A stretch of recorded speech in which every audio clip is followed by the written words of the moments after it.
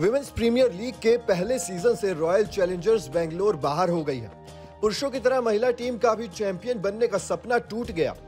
RCB ने team India की star खिलाड़ी स्मृति मंधाना को सबसे महँगी कीमत पर खरीदा था। आरसीबी ने मंधाना को तीन दशमलव चार करोड़ रुपए में अपने साथ जोड़ा था और टीम की कप्तानी की ज़िम्मेदारी सौंपी थी। लेकिन मंधाना अपनी टीम को प्लेऑफ्स में ले जाने में भी कामयाब नहीं हुई। वहीं आरसीबी ने ऑस्ट्रेलिया की स्टार ऑलराउंडर एलिस पेरी को एक दशमलव सात करोड़ रुपए की भारी भरकम कीमत पर अपने साथ जोड़ा था। आरसीबी फैंस को उम्मीद थी कि फ्रेंचाइजी ने एक अच्छी टीम चुनी है जो कि पहला खिताब दिलाएगी, लेकिन टीम टूर्नामेंट से पहले ही बाहर हो गई। विमेंस प्रीमियर लीग में आरसीबी ने अपने लगातार पाँच मैच हारे।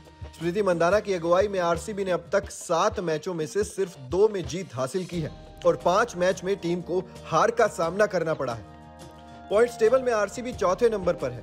वहीं इस टूर्नामेंट में स्मृति मंदाना के बल्ले से ज़्यादा रन नहीं निकले। उन्होंने सात मैचों में सत्रह दशमलव आठ चार की औसत से 125 रन बनाए। इस दौरान उनका स्ट्राइक रेट एक सौ चौदह दशमलव छह सात का रहा है। वहीं गेंदबाजी में रेणुका सिंह भी कमाल नहीं कर पाई। आरसीबी ने रेणुका सिंह ठाकुर को एक दशमलव पाँच करोड़ रुपए में खरीदा था। इसके अलावा रिचा घोष का बल्ला भी नहीं चल पाया। आरसीबी ने रिचा को एक दशमलव नौ करोड़ रुपए में खरीदा था। मुंबई इंडियंस और दिल्ली कैपिटल्स पहले ही प्लेऑफ्स में जगह बना चुकी है। उसके बाद यूपी वॉरियर्स ने आज, यानी कि 20 मार्च को गुजरात जाइंट्स को एक रोमांचक मुकाबले में तीन विकेट से हराकर प्लेऑफ्स के लिए क्वालिफाई कर लिया। ग्रुप मुकाबलों के बाद रैंकिंग में टॉप पर रहने वाली टीम सीधे फाइनल में पहुंचेगी। वहीं दूसरे और तीसरे स्थान पर रहने वाली टीम के बीच एलिमिनेटर मैच खेला जाएगा।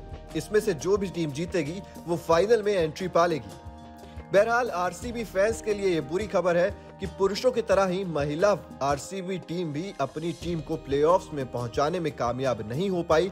इसी तरह से आरसीबी फैंस का दिल एक बार फिर से टूट गया और टाइटल का इंतज़ार लंबा हो गया। Team Newsday and Digital.